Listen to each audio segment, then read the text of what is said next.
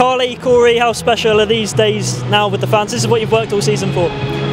I'll let you take that one. Yeah, it's great. Um, obviously, from Botswana to here, it's, it's been a long journey, but it's been a team effort. Everyone involved couldn't have done it without everyone, even the big man here. You know what I mean? Like keeps us going. He's, he's been a part of it as well. So banter's unbelievable. Hey, everyone, everyone at the club's been a part of it, and uh, the fans as well. It's been a great year.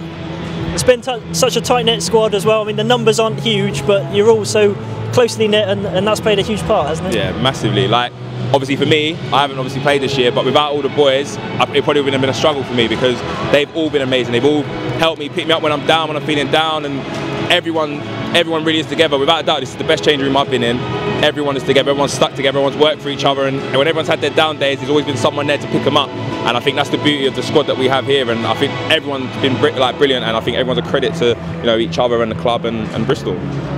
And to come here today, having already had the league sewn up and scored eight goals. I mean, that tells you something, doesn't it? Yeah, I mean, obviously uh, we didn't didn't have the best first half, but I mean, it is kind of hard when when it's all wrapped up. But we come out in the second half and we showed once again why we're champions and uh, scored a lot of goals and obviously gave a good show of it on the last day of the season. And Gaffer told us to be fair at the beginning, like you'll feel a lot better if you if you win the game and go and pick up the trophy rather than losing it because all the fans will be buzzing and that. So yeah, we got a big victory and lifted the lifted the trophy and uh, we're ready for next year now.